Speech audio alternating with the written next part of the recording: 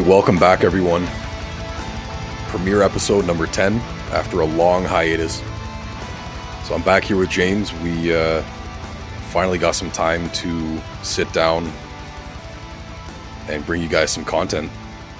It's been long overdue. We had a long, dark winter. Um, It's been a it's been a long time, hasn't it? It uh, feels like a lifetime ago now. Yeah. Absolutely. That that's what happens with life though, right? Things get in the way, you're tested. And uh like the old saying, if you love it, let it go. If it returns, it's yours. That kind of, you know. And here we are. We've stuff. returned. Like it or not, we're back.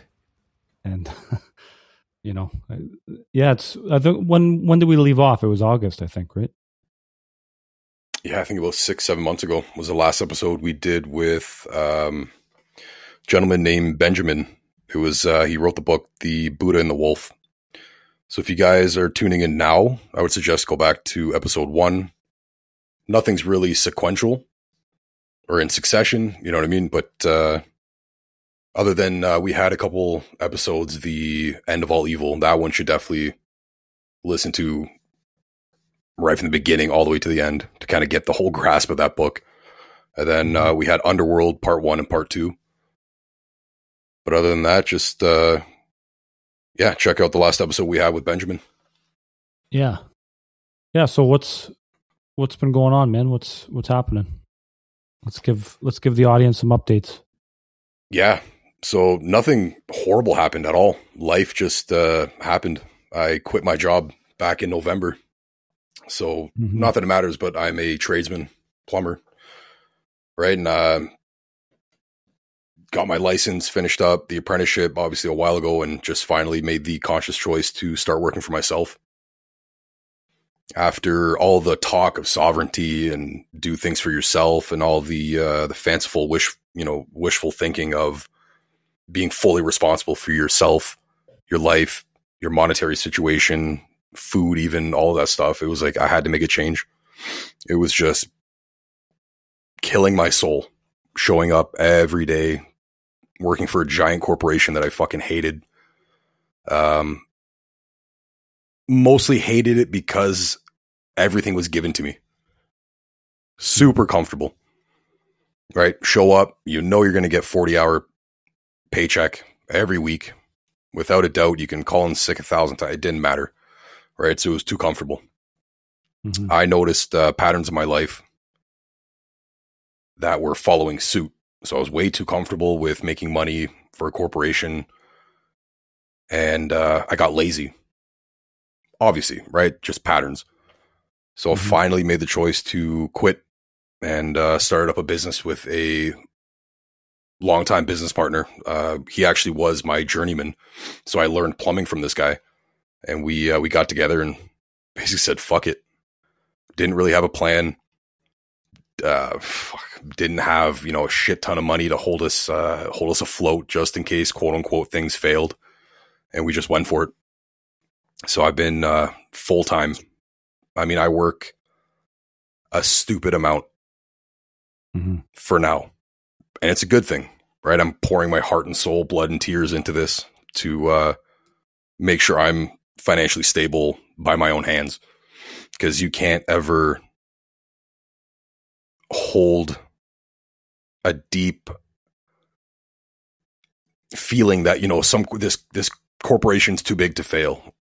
These this company will never fail. They'll they'll never let me go. They'll never fire me. Like that shit happens all the time. People uh Especially now, yeah. oh yeah. People have worked for for companies for like 30 years. And like oh you know what? Time to go. Here's a, a shitty pension. You're gone.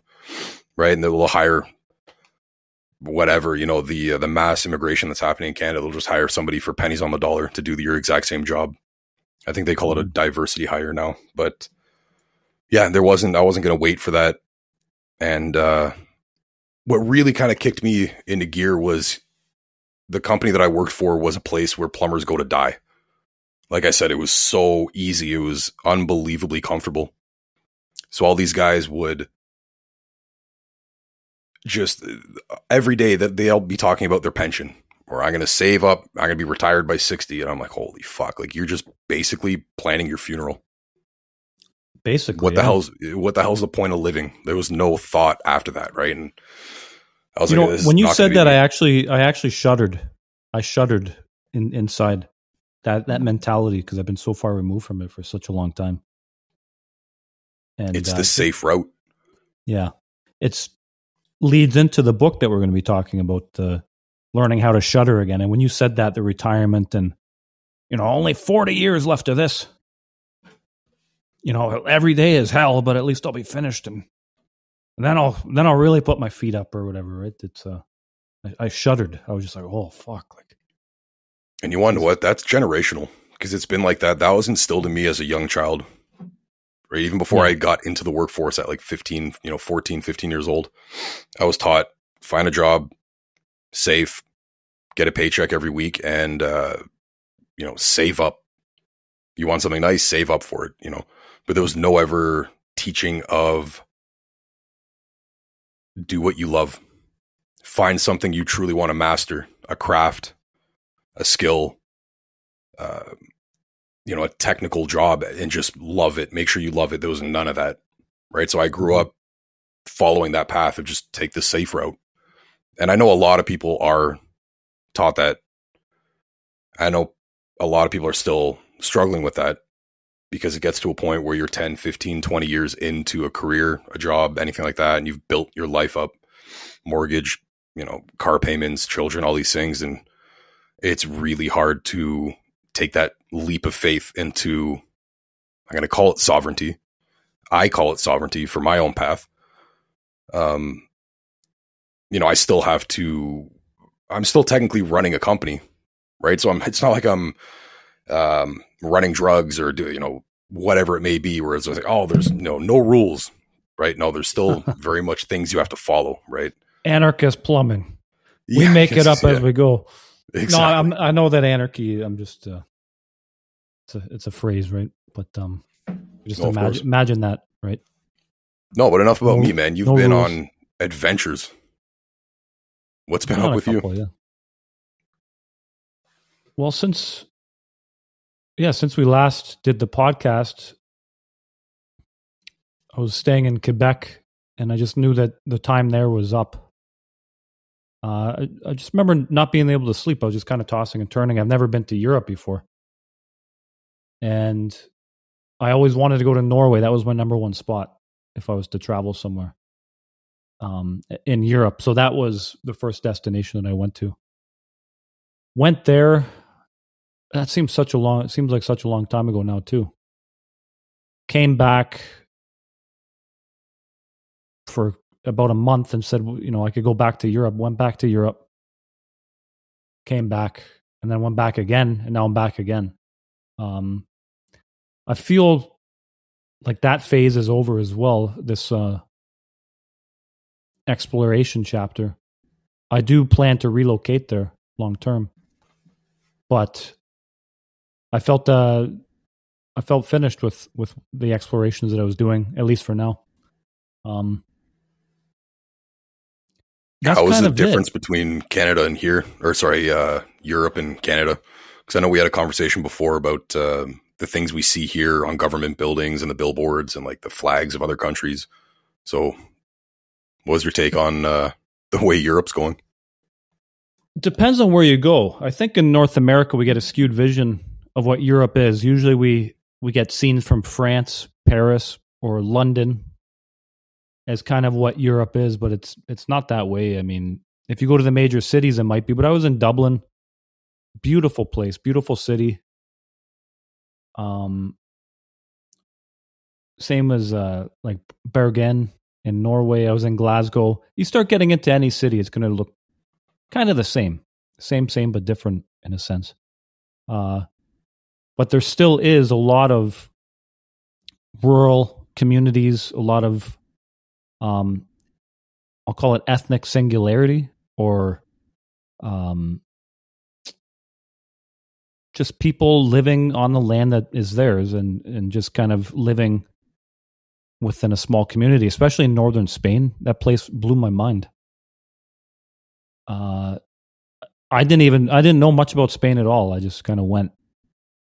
And northern Spain, was probably the most remarkable and the most grounded place that I that I went to in Europe. Actually, I was quite surprised by that. Uh, a lot of mountains, a lot of fresh air, a lot of ocean, obviously, along the coast, and uh, just the way of life is completely different. You, you you sense it in, in Spain. They have the siesta. There's not there's not a big push on the career and just balls to the wall, uh, chasing money. I mean, um, we talk about uh, you know drinking natural spring water and organic beef and organic food and, and everything like that. Well, that's just how they live over there. It's it's kind of uh, I mean that's just the way that I think that we're we're intended to live. I, the the best best parts of Europe that I saw were northern Spain. Very uh, sounds like my kind of place. Yeah, and slow too with the siesta you you eat kind of a big lunch and then between one and four one and five it's done. It's everything's closed down. Good like you're not going to be able to buy anything unless it's like gas or or whatever. And it's just it's really chill. It's a really chill place. Yeah it's like every um, day. every day yeah. Siesta. Oh my god. I would love that. Have a have a nap right after lunch? Fuck sign me up. Yeah. Um yeah and i explored a lot of the um Neolithic, Paleolithic sites. That was kind of the main intre- interest. There's, yeah, I mean, there's a lot to get into with that. Maybe, well, at another podcast, I'll probably present some of the findings in a cohesive manner. So that's that's mainly what I've been up to, kind of traveling back and forth, going there. Nice. Yeah, yeah, I definitely want to uh, check out some ancient sites really feel the energy there. And I mean, especially with studying Velikovsky and all these other catastrophe theorists. I mean, mm-hmm. there's some connections to uh, take a look at for sure. You really do feel it. Um, maybe not immediately. I don't think it's an immediate thing. It sort of it lingers. It kind of if you allow it to, you kind of allow that to kind of seep into yourself. And uh, it, it just kind of changes you slowly like it there's more questions than answers when you visit these sites. And that those questions is kind of what fuels the investigation. Did you see any uh proof or indication of like catastrophe? Like back in uh like what Comyns Beaumont was talking about and anything like that? The stuff that Tessarion talks about? Yeah i think that uh there used to be a place called Doggerland. It's a theory. I don't think it's a theory, but basically in between Norway, Scotland, and uh, North Europe, like Netherlands area, used to be a landmass, and then that actually sunk. Um, and you kind of you kind of see that. You kind of when I was on Orkney Island, it felt like there was a catastrophe there. They found like a Viking village. It was buried under um, sand essentially. A lot of the, a lot of these monuments that they find in Europe are actually buried under layers and layers of dirt. They haven't been sitting there; they've been rediscovered in the 17 and 1800s. Uh, it just goes to show how much has been covered up, not just psychically, our our psyche, but also physically. They probably go hand in hand. There's probably a, a reflection and a relationship there as well. So the ancient world really is covered in dirt and and sand and and catastrophe as well as as well as our psyche and our connection to it. So I think with these ancient sites, I think it's it's very important to go and, and travel to them and kind of um you really do connect back to that that timelessness or the this this ancient sort of state of mind. I, I see the evidence of a catastrophe kind of everywhere. Um, but to pinpoint it and, and say specifics, I, it's hard to say. Yeah. I mean, it gives new meaning to the phrase unearthing trauma, right? Covered in dirt, unearthing it. Hmm. Yeah. Yeah. The Newgrange, for example, I think was rediscovered in the 18 or 1900s, and this is one of the biggest uh, megalith monuments in in Britain and it's only been in public consciousness for about 200 years. To put in context, it was just buried. It was buried under mountains. It was a farmer's field, essentially. A lot of these. It was uh, some stories uh, in Orkney Island. Some of the locals told me. Um, you know, a farmer was drunk and went wandering off into his field, and his leg slipped down a chamber, and then, you know, and then there you go. You got uh, uh, a, a passage tomb all of a sudden, right? So it's it's very fascinating. It's actually been a common thread. I think there's a few of them. The oldest, uh, I'm going to butcher the name, Gobekli Tepe, was the same Yeah. thing. It was a sheep herder or a sheep farmer. And uh, I can't remember what happened, but basically he unearthed it and he was like, oh, what's this stone? And the next thing you know, it's like the oldest uh, known, you know, monolithic structure or site. Mhm. And we're like, holy fuck. And that's in So- Turkey, right? Yeah. So out there, thank your uh, local drunk farmers for finding archaeological finds. Yeah, no kidding. They're like Yeah, the uh, so- the Freuds and the Carl Jungs of the material world. Hmm. And and that sort of buried in dirt goes hand in hand with the the book that we're going to be getting into. This idea of the wild man being buried under water and and mud deep in the dense forest that we've in modern times we just keep getting more and more away from. But that archetypal energy of the wild man is uh is actually the energy that we need in these times because it is the primitive masculine that's so very missing in in modernity i mean all you have to do is take a look around Yeah, between the corporate world, the clean shaven, sanitized man that uh, seems to be everybody's attacking, right? But uh, not realizing it's a product of our own doing, right? Straying away from that, like you said, that primordial masculine, not the savage man, which everybody thinks.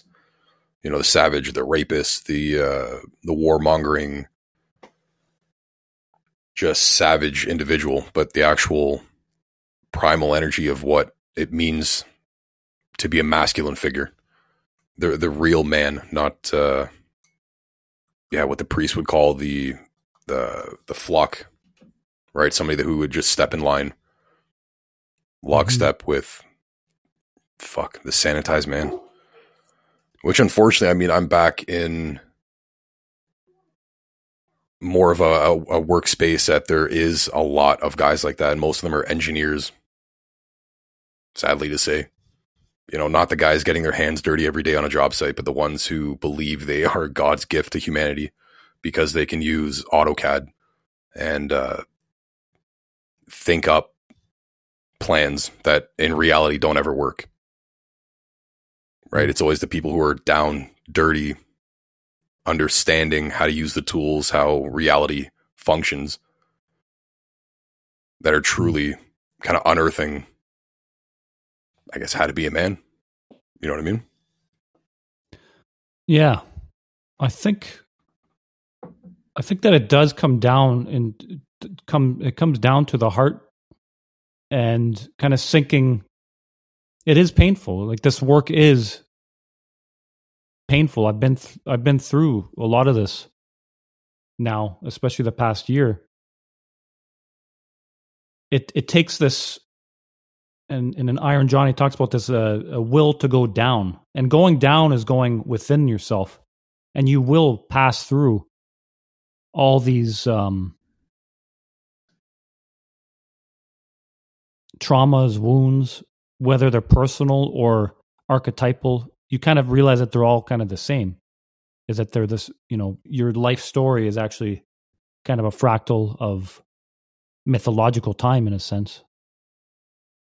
Um, so I think that without heart, without this uh, the centeredness, if it's just purely mind and engineering, I mean, engineering, you can just design more and more complex computational systems and AI structures and super prisons and fucking super weapons. And you're just circling around. You're you're just circling away. You're you're getting away actually from the center of things. This primal masculine sacred energy, you're you're propelling yourself away from it. You don't want to look at it. We've evolved now. We've evolved from that. Blah blah blah.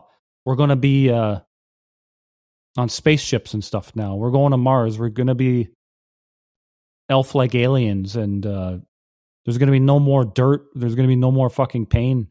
It's it's we're blasting away from from the truth of reality. I think we're blasting away from the truth of our past, and the past is that we were primal at one point, and we can still connect to it, and we must connect to it. We have to. We have to connect to the primacy of nature or it's fucking over. That's just that's the way I see it. So it's basically the running away of uh, introspection, right? The the deep understanding of self versus the uh, the outward projection we think we are. Yeah. So yeah. that that to me that I mean that'll that'll manifest into like you said, rocket ships and trying to blow ourselves out into the universe. But that won't ever happen when your psyche's still damaged because you're just going to bring along all that fucking garbage that's locked away. Mm-hmm. So it's unfortunate that psychology and psychoanalysis has basically been, uh,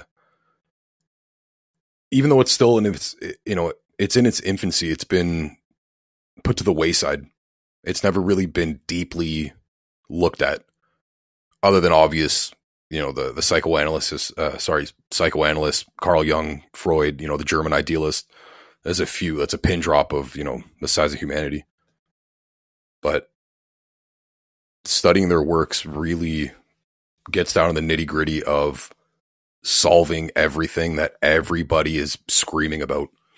Whether it's you go on Twitter, you know, talk to your crazy conspiracy theorist uncle about the issues of the world.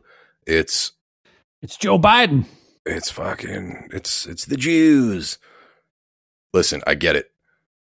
But there's a reason we do the things we do. There's a reason we say the things we say. There's a reason we do the things we don't want to do continuously and over and over and over again. And there's answers just nobody wants to take a look at it because they want somebody else to be like, hey, that's what's wrong with you. Here's a book. Here's a pill. You know, here's my uh subscribe to my podcast, northernwolvespodcast.com. Right? But you know, anything like that, it's always an external savior. Mm-hmm. When in truth, it'll never happen. I'm telling you right now, never is going to happen. Things will not get fixed until every single human being shuts the fuck up and starts looking within themselves. Hey man, I just watched Dune. And there is an external savior and he's going to fix it. He's called the the Mahdi.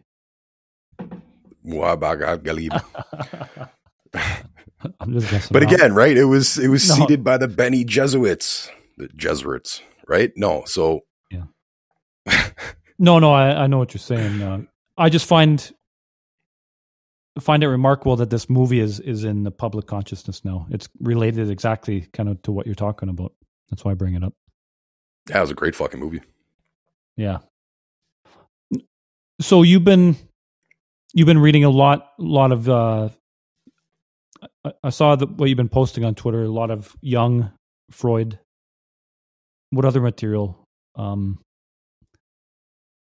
that's kind of been the the main focus since the last podcast for you? I can tell you I've probably other than finishing the Hiram key, finally, um, I haven't read more than a fucking chapter or two since. That's mm. how unbelievably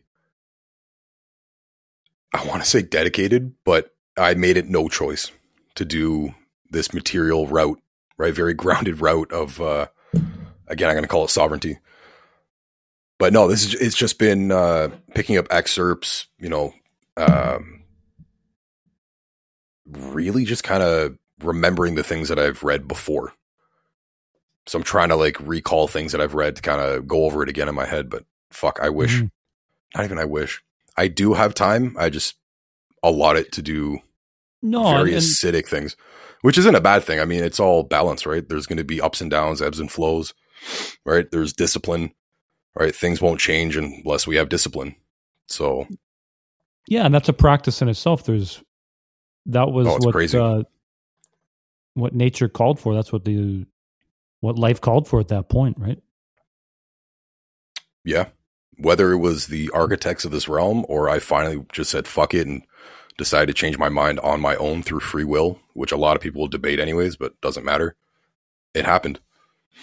So, hmm no, it's it's mainly been uh yeah, just trying to recall. And then going back and like if I remember a quote, I'll be like, okay, is that actually what I remembered? And looked it up real quick and it's there. So mm-hmm. Yeah, and um, we're definitely going to have to do more podcasts on this topic. I think that this is kind of a catch-up episode and kind of an introduction to these topics. Um, yeah, absolutely. That's that's how it's going to go. But you're talking about uh, the external savior,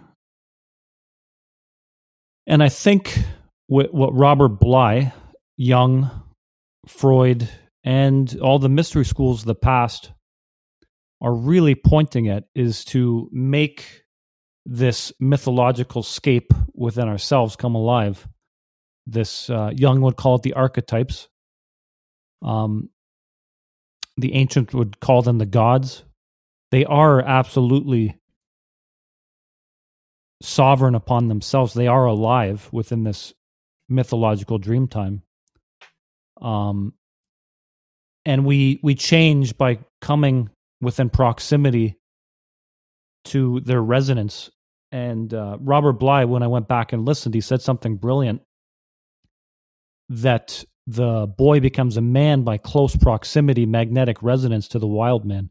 And I thought that was brilliant. It's something that I overlooked uh, the first or second time that I listened, and then when we went back this week and listened to it again, it's it's exactly that. It's that that these these archetypal forces, we we need to build a relationship with them. We need to uh, consult them. We need to visit their world in a sense and and that's where just by sheer proximity of these of these god forces it's going to it's going to change us um it's like alchemy as well like if you uh just on if you put something on the stove if you put soup on the stove and the stove is hot the soup becomes hot. And i think that a lot of these primal forces uh act in the same way that you get close to them you you're going to be changed i think. And uh the wild man archetype going back and listening i realize what he's talking about is is cern and and uh a lot of other gods.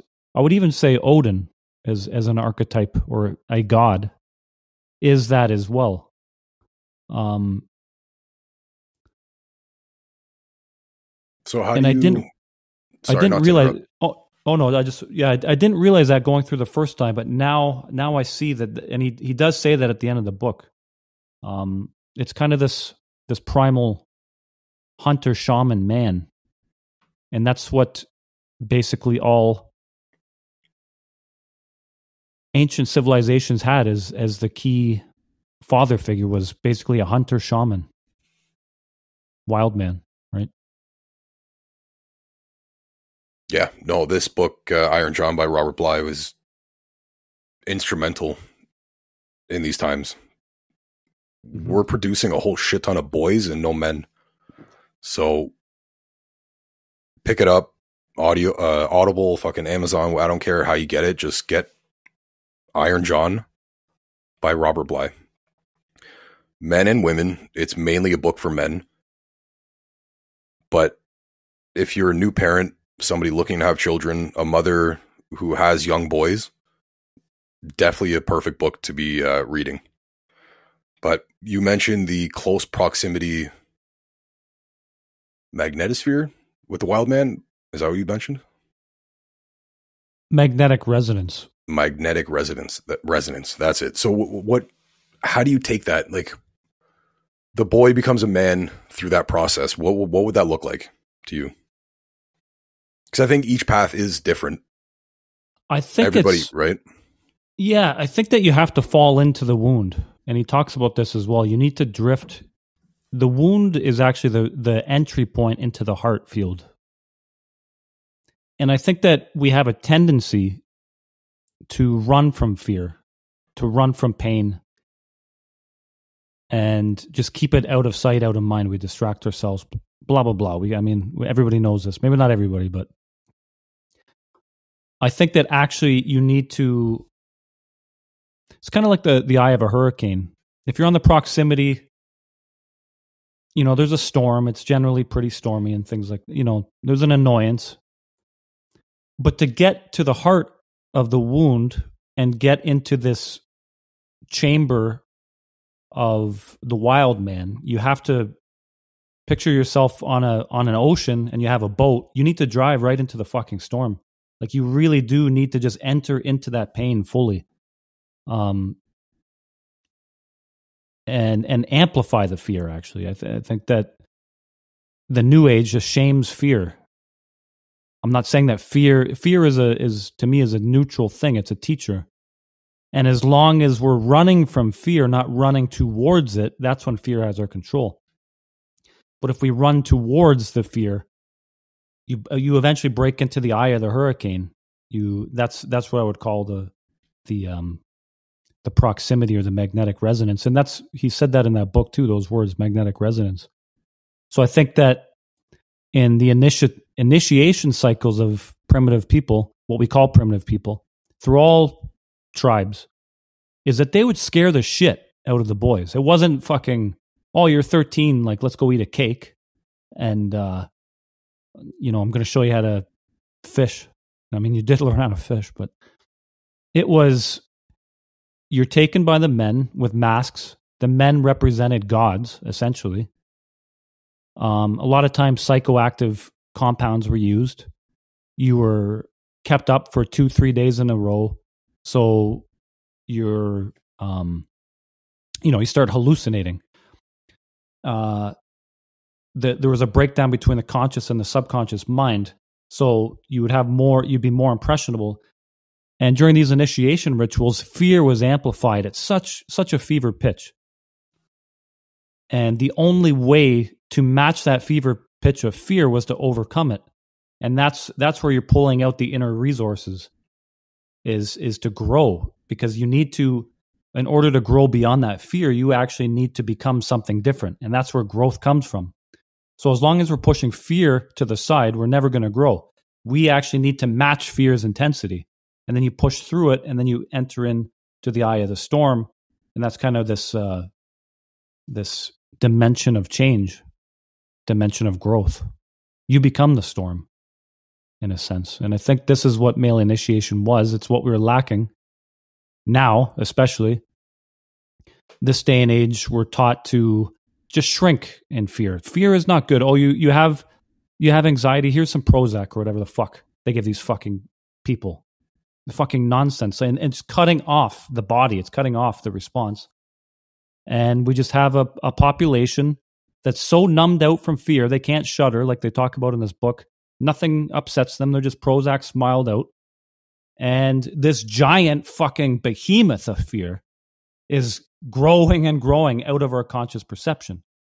And this is what's going on is that this, if you want to call it the, the dark mother or uh, the Leviathan or the fucking Godzilla, there's so many mythologies of this. We've looked away from this monstrosity and it's just growing and growing and people are numbing themselves out and the bigger it grows the more distractions you need the bigger it grows the more pills you need the more this the more that until eventually you can't run from it anymore and there has to be a showdown right? And this is this is where thor comes in as well. This is where jormungandr's strangling strangling.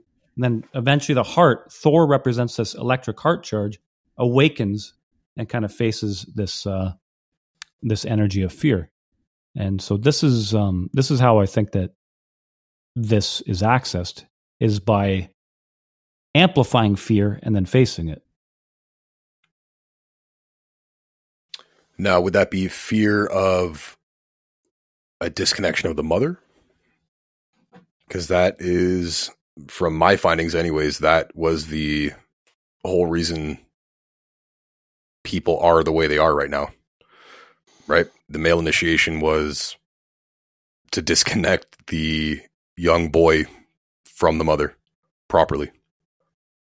So I think possibly that fear that you're talking about could be wrong would be some sort of fear of the the mother. Right. There's that, yeah. Right. Because yeah. in in Iron John, he was talking about the uh like they were snatched away from the mother's compound. Yeah, they were. Yeah. Right? I think generally were, the. Oh, go ahead. No, keep going. I think generally fear, all fear is fear of the self. In the in the end, I think that that's what it is. I think that we have so much potencies within ourselves, so much potencies within the earth, the universe. Um, and the they're gate kept. Actually, I think that that we we gatekeep ourselves uh, by a good design. Because uh, you imagine you have the nuclear missile codes, and you give it to some uh, who knows some psycho or or even just Biden or who the hell knows, right? You give you give the missile codes to the wrong person. He can't handle that energy. So I think that the initiation process is the gradual process of handling more and more primal currents of energy. And it's not all in one shot. Um I think that that's a misconception that you just go through one initiation and then you're over and then it's over. In the Aborigine societies, there was the one primal initiation to separate from the mother. But then after that, you're in the male world, and you could take on as much initiations as you wanted. Actually, this is they they had that choice that you could uh, prolong the period of getting married and just focus on initiations. And some of these men would do that for 20, 30 years. They wouldn't get married, uh, and they would just learn more and more of the secrets. Um, so it's this never ending depth, I believe, and we're afraid of the depth and in the modern psyche is i think very very afraid of the depth and what lurks below and since we we've pushed these depths away it creeps out into the public consciousness in unconscious ways like you just open up the fucking news or the x app or the twitter app. A lot of a lot of atrocity going on right? That's the unconsciousness creeping out in uncontrolled ways.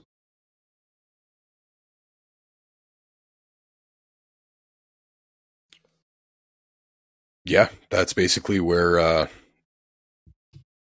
you know the whole point of getting this book is to stop all this nonsense.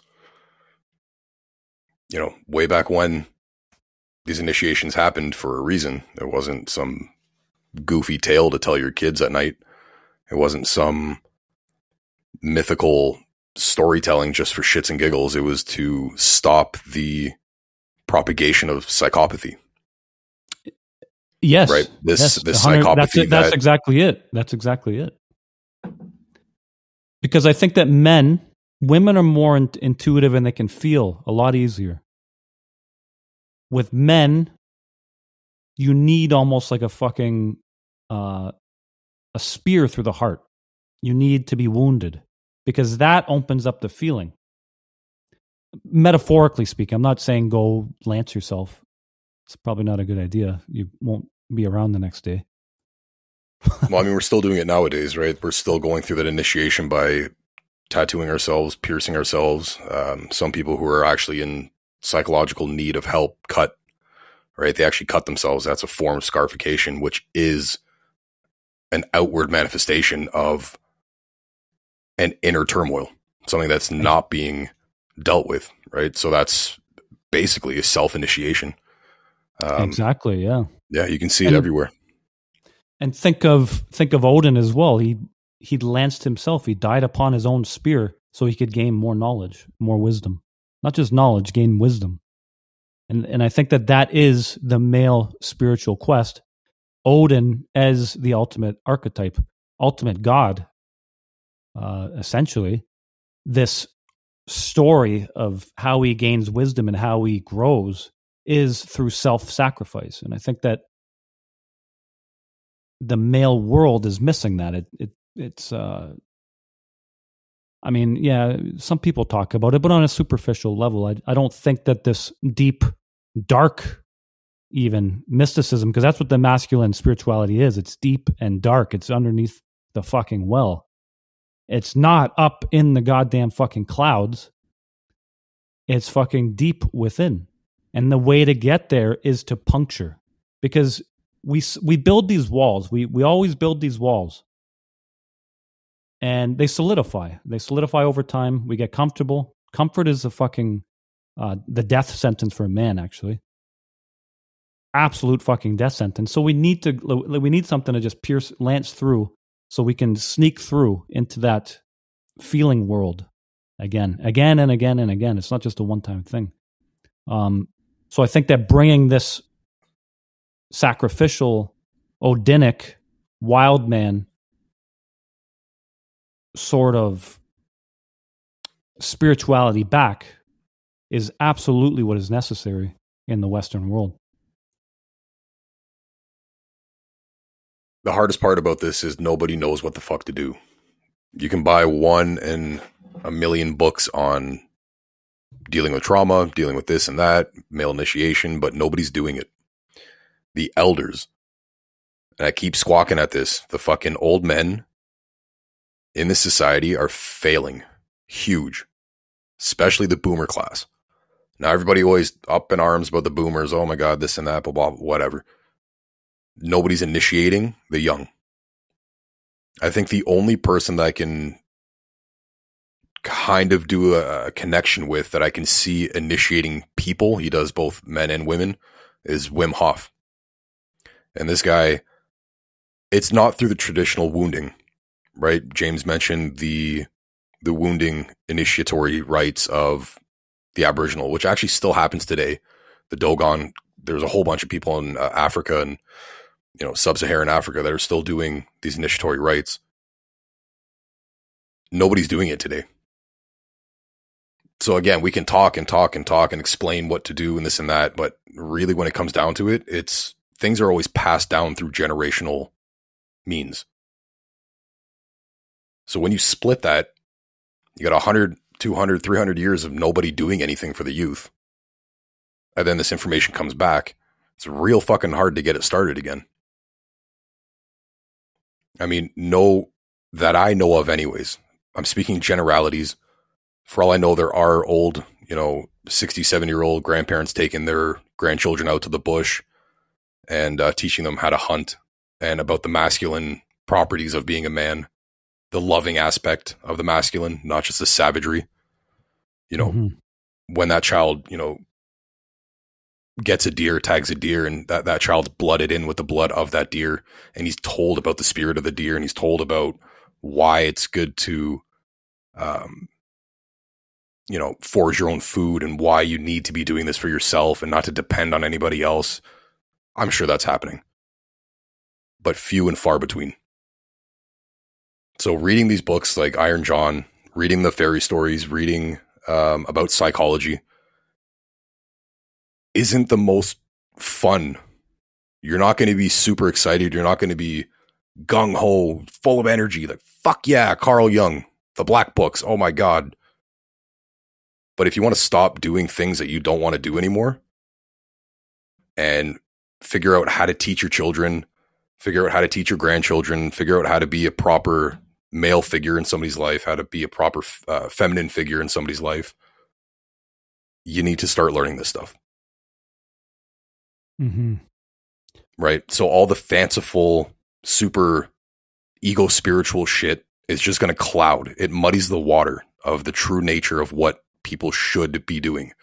And sometimes it's not good to say you should be doing this because people just get hung up on how the fuck dare you? What do you mean? How are you telling me what to do? I hear it all the time and I see it when you see people acting out because of deep seated trauma that I'm sure they're fucking aware of, and they make it known to people, it's like you need to fix that. because then Yeah. they constantly complain and complain and complain about the same shit as a revolution going on in their life. But it's that inner war that they're fighting and it manifests outside. You ever seen that person in line just an absolute dick? I mean, an absolute piece of shit to a barista at a Starbucks or Tim Hortons or whatever fucking coffee shops in your local area. And you look at them, you're like, how could you be so mean for absolutely no fucking reason? Mm-hmm. It's yeah. It's, it's because, because, a- yeah. it's inner there's a- turmoil. it's it, you know, it's inner warfare that's going on. But these people won't deal with it, so it's brought outwards. Now let's blow that up to a collective scale. Like James said, oh, look at the news, open up Twitter, you know, whatever you got to do to get your information. And you see, and you're just like, holy fuck. Instant black pill. You're like, we're fucked. We're doomed. Yeah, I don't think It's we're because of this doomed. stuff. No, not at all. I'm not saying we're doomed either, but I mean, the human race is going to do what the fucking human race does. Right. But it It's does need a, a collective transformation. Yeah. yeah, on a singular level. On, on a singular level, nothing collective can be without each individual human being choosing to do something. hmm Right? That's the whole point of a collective consciousness is it's each individual human being either negating, suppressing, repressing, or choosing to go through something. Like you said, the storm, go full fucking head first into the storm, figure it out, and hope you come out alive on the other end. Hmm And then boom, you know, just however the hermetics, you know, the hermetic uh, teachers would say it would, you know, it'll explode into the consciousness collectively. Everybody will change. The vibration of the earth will 5D ascend into whatever the fuck Valhalla, right? Whatever you, whatever you want to call it. It needs to be done on an individual level. That means each child, right? This is what we're talking about is initiation from youth. Because if not, Yeah. then psychopathy, all these horrible things we're seeing will propagate and it'll grow and it'll grow and it'll grow. hmm So that's my rant. Yeah, and it's going to take people like me and you and others to kind of reinstitute these matters back. Um, I think that this podcast is is a great start. I know we both have further goals along this these lines of thought, right? Um, I mean, I'm not even trying to be a, a, a segue or a, a head figure, figurehead, sorry, of doing any No, of this no, shit. no. You know, Carl Jung didn't even like going to his own institute. I think he fucking went there once. yeah, He showed up once. He was like, nah, fuck that. I don't want anything to do with this shit. He just wrote and he wrote and he wrote until he died. That's all he could do. Yeah. To me, yeah, it sounds a little black pilled, but I don't want to be a figurehead. I don't want my name attached to anything of that. It's people. You, you, dude, we can do a thousand episodes. Look at Mark Passio. yeah, You know what I mean? I'm not saying he's doing a bad thing or, you know, it's not working or anything like that, but like, holy fuck. You can scream and you can yell and you can throw things at people and it doesn't matter because it's going to take their own courage. I don't like using the word willpower, but courage. Courage and energy, you know, libidic energy to change how the fuck they think or what to do. You know what I mean in life. So I think it's just putting out the knowledge. That's all you can do realistically. And it sounds a little black pill, but you know what? So be it. yeah. I think putting out the the knowledge. I think my vision is to see some of these ancient initiation practices brought back on, at some level in person. Um, we're at a time and place realistically where it's it's self initiation and it takes a lot of research and a lot of experimentation to get through these things and you don't even there's there are maps but you don't know that there even is maps until later. It's it's very strange.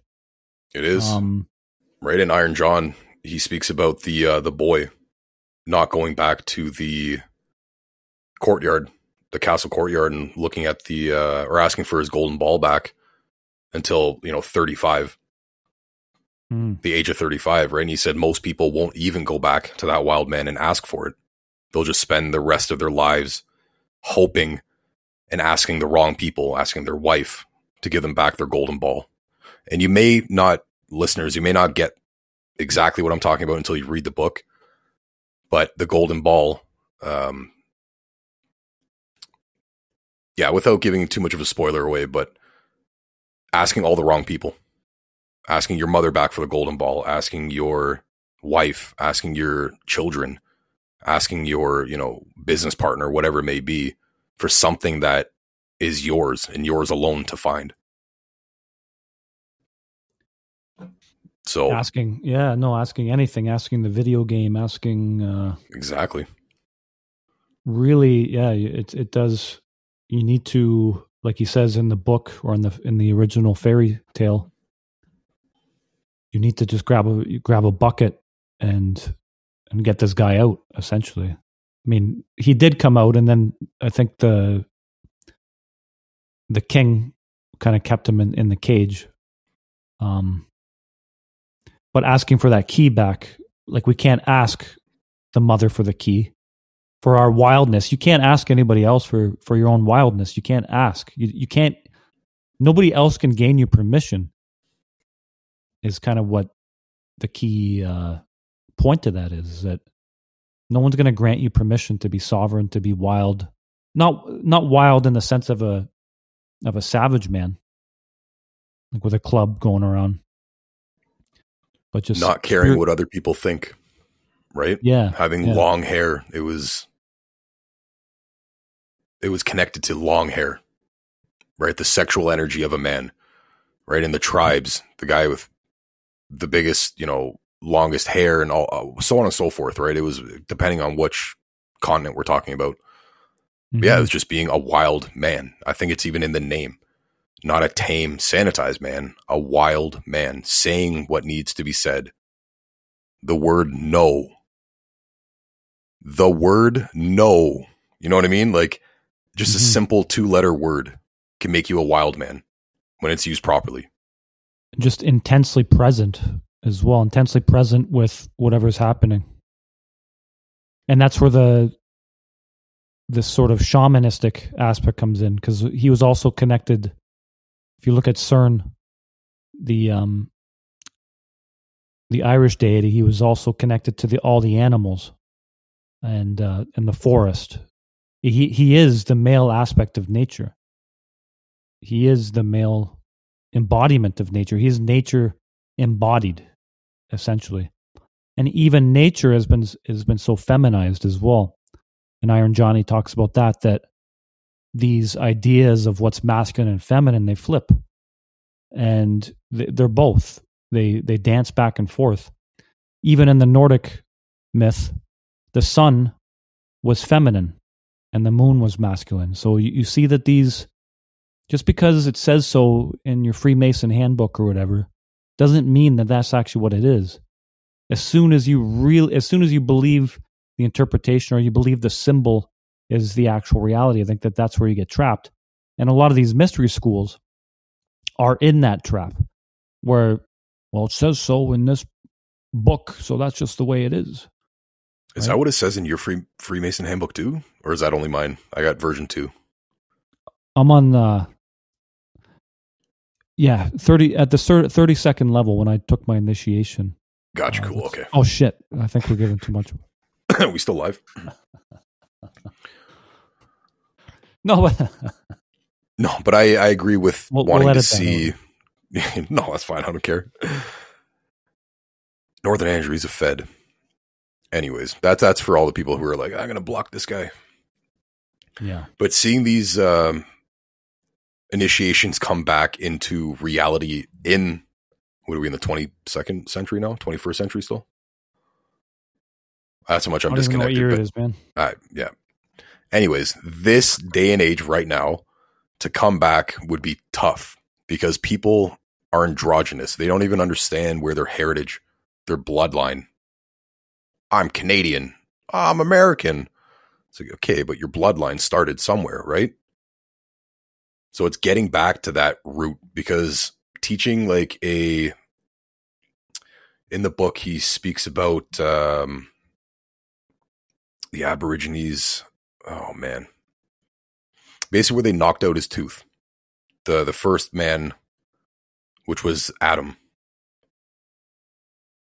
Looked up in the tree they're like oh there's adam right there when they brought all the children in and then they would strategically knock out a tooth of each child each boy and then that would connect their minds to the first man every single time they felt that gap they felt Mhm. intrinsically connected to the first man which was you know quote unquote adam in christian mythology would you be teaching that to somebody from you know northern europe lineage maybe it would work if it was adapted No, so no, to me yeah, that that's kind of a hurdle. That that's something to jump through. Is like if you're going to be teaching young boys of all ages, or sorry, of all uh, lineages and shit like that, in this androgynous North American, you know, FEMA camp that we're living in, it's really it, that's why it has to be done, um, by the family.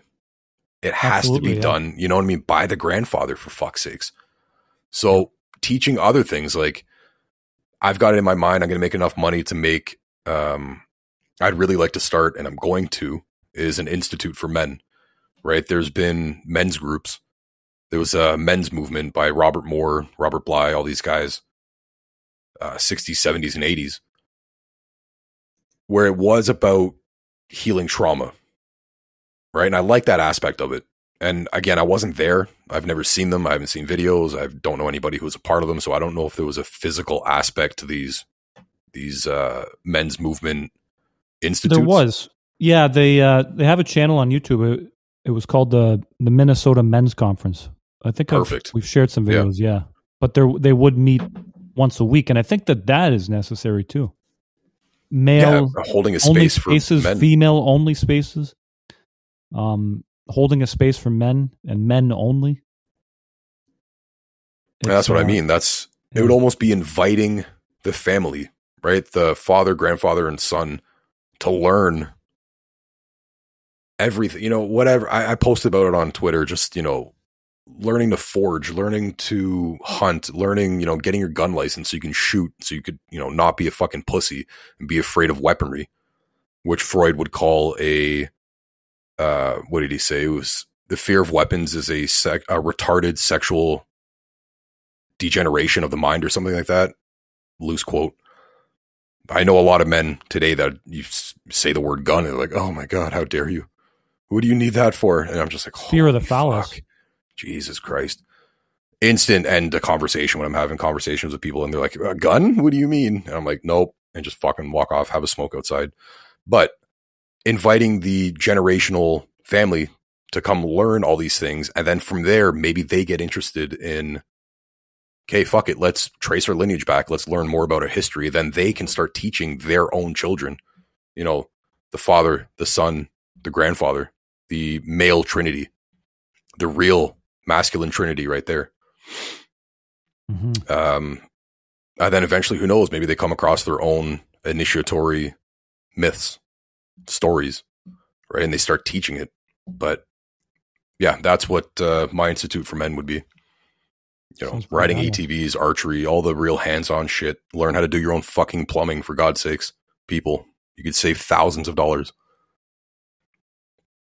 Hmm. Just throwing it out there. Yeah, no, it's it's desperately needed. Desperately needed. And you were talking about the, the lineage factor. Like that's what the gods actually are is I call it the ancestral root god. And we all have one. Every race, tribe, culture is going to differ because we're different, right? There's different myths. Uh, the Nordic myths of the mountains and volcanic activity and, and fire and water and chaotic elements of nature and snow has absolutely no bearing in the jungle or the desert. It's like taking this is what Christianity, this is what well, essentially Abrahamism has done, is that they just paved over the entire earth and said all that stuff doesn't matter. The land doesn't matter, the people don't matter, your myths don't matter, your language doesn't matter. None of it fucking matters. All that matters is our own tribal deity, Jehovah. And take, for example, the Inuit. I don't know any Inuit myths, but I'm fairly certain there's got to be polar bears within their local mythology. A lot of ice.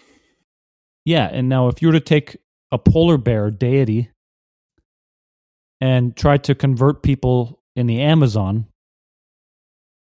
it's not going to happen. Everything is localized. So we do need this connection to the land, connection to the ancestry, connection to the roots in order to really tap into this.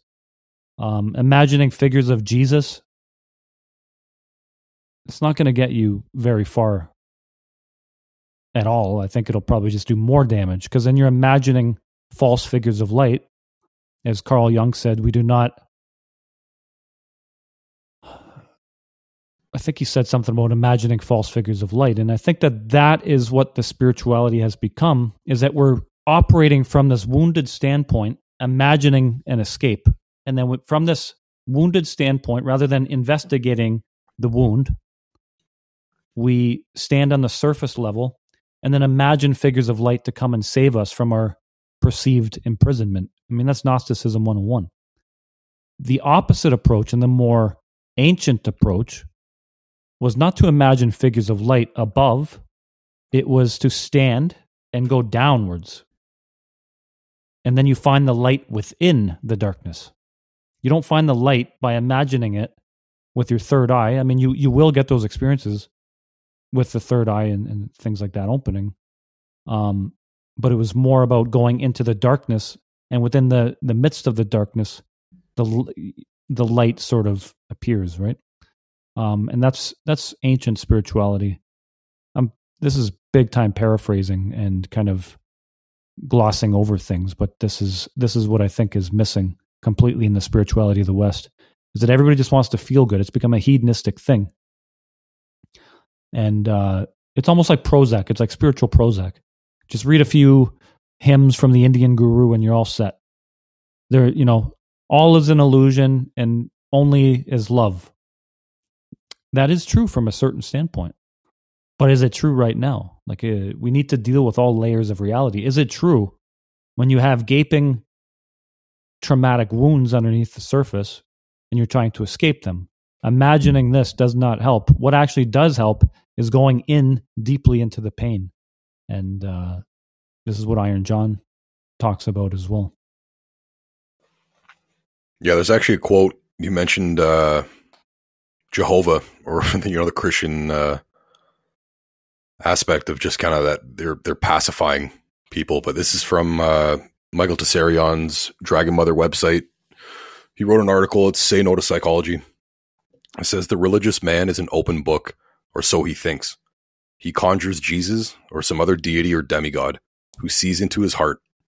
His imperfections are known and their remedies prefabricated. Just read the instructions. Get into lockstep with others in the same mass and wait for the external authority to give you the rubber stamp of approval. All the while, one fails to face their constitutional infantilism. There's no need mm. to hmm. query whether Jesus or God have pathological or psychological profiles of their own. And he goes on to say one glance at the Old Testament tells us that Jehovah has supersized hangups and phobias, causing pathological behavior most of the time. But again, where there is theology, there's no need for psychology. Amazing. It's brilliant, yeah. You could almost say that Jehovah is actually a projection of the people itself. Oh, it's unbelievable. Well. Yeah. Reading the, As, the the Key, they were talking about how nobody I mean this is for a completely different topic, but like nobody liked Jehovah. You know what I mean? the original when they were carrying him around and shit, it was it was it's amazing how much it's been uh deified. When really it was like a thirty third on the fucking chain of deities that they were worshiping at the time. Hmm. Yeah. Well, I think that the roots of communism, and Tsarion and other people get into this, the, the roots of communism is Judeo Christianity in its collectivized form, not the mystery traditions of the Essenes and kind of the the uh, the mystery tradition Christianity, things like that. But this collectivized form is uh, is spiritual communism, and then we're witnessing the end product of of Abrahamism right now. They're everybody's the same. The, these ideas that uh, you know there are no races, there are no special lands. Uh, everybody's the same. Everybody's equal. These have their roots right there in those religions. You know, it's fucking wild, man. Yeah, absolutely. So we're coming up to the top of the hour. I think uh, it's a good summary of you know what we've been doing, where we're going to be going, and uh, what we're going to be trying to accomplish. What do you think? Yeah, I think so too. Um,